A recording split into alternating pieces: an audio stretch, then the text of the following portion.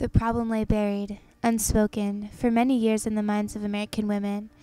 It was a strange stirring, a sense of dissatisfaction, a yearning that women suffered in the middle of the 20th century in the United States. Each suburban wife struggled with it alone.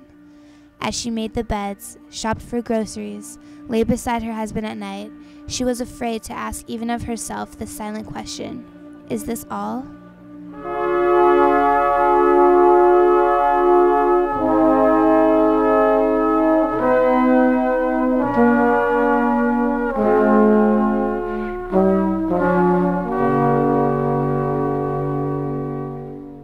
It was this question, first proposed in 1963 by Betty Friedan, that brought light on a yearning that women nationwide were feeling. The book opened the door for a second wave of feminism, bringing a desire to become a part of American society that surpassed the effect Rosie the Riveter had during World War II. In 1966, the National Organization for Women was formed, under the creed to take action to bring women into full participation in the mainstream of American society now, exercising all privileges and responsibilities thereof in truly equal partnership with men. In the next decade, the women's movement won many key legal victories. It was during this time that the Equal Pay Act of 1963 was passed and the 1973 legal case Roe v. Wade was won, allowing women the right to control their own bodies. Unfortunately, the movement began to wane because of the conservatism of the 1980s and its emphasis on patriarchy and fundamentalist values. The movement's end came before it fully realized its goal of equality between men and women, causing continued gender based inequalities of salaries, gender roles in the household, and negative images of feminist women still present today.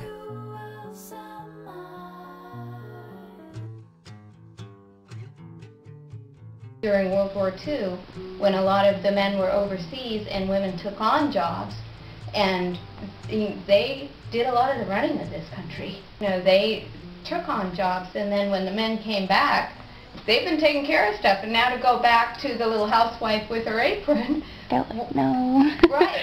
You know, that she knew that she was capable whereas maybe she hadn't really seen that as clearly before. And it was this realization of power that permanently fused women into the fabric of American occupations. This was greatly aided by the ratification of the Equal Rights Act of 1964, an act passed by Kennedy just two years before the National Organization for Women was formed. This was an early success for the women's movement, as occupational equality was one of their main goals.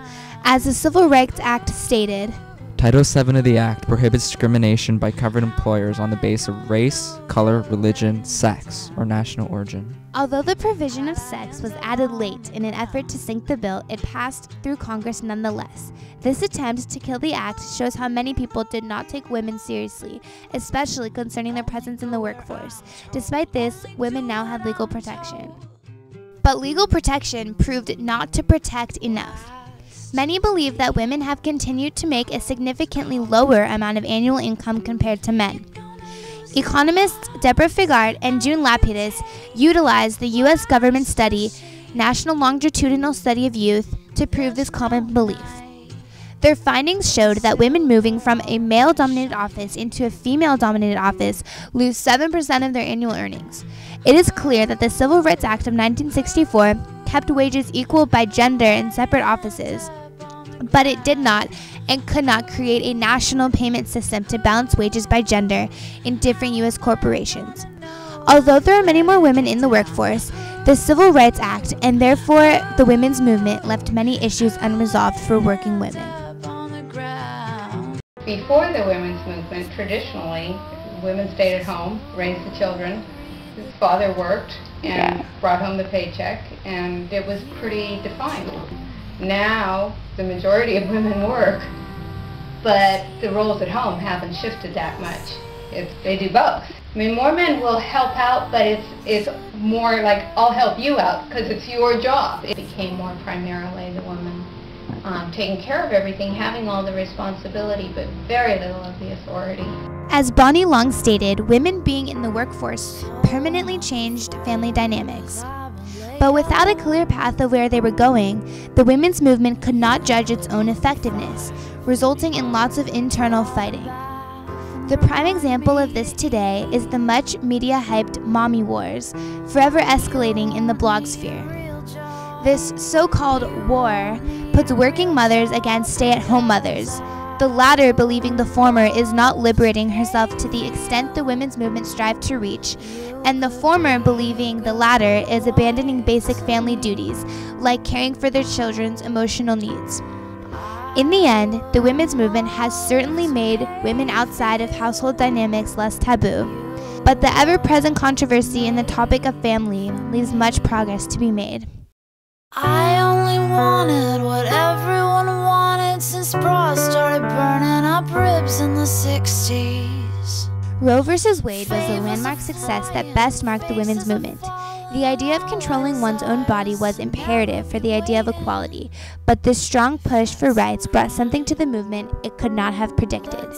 Bonnie Long reflects on it personally. To be honest, I was also concerned about being about aligning too far that I would be seen as one of those angry feminist bitches. This label of feminist bitch is one that any woman trying to pursue equality cannot avoid. An equivalent situation today is the mommy wars and other skirmishes that occur online and in small red publications, all of which continue to push for equality without a clear idea of what equality is. Overall, the women's movement may have normalized women in the workforce, brought them out of their homes, and gave them complete control over their bodies. But the inequality of wages, taboo of women out of the household, and of women advocating their rights made the movement a failure. In order for women to finally reach equality to men, it must be made clear what equality is. It is only then that there can be an equal and fair tomorrow.